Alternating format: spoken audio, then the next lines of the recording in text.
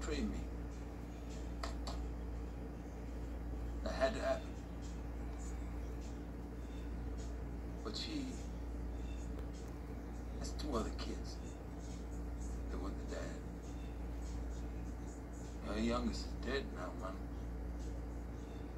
Dead because me.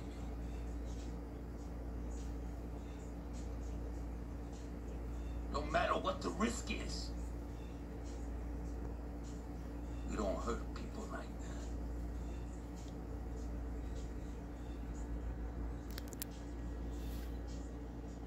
All I gotta know. Her dead in that other room. That was your call. No. No. It had to be the drugs.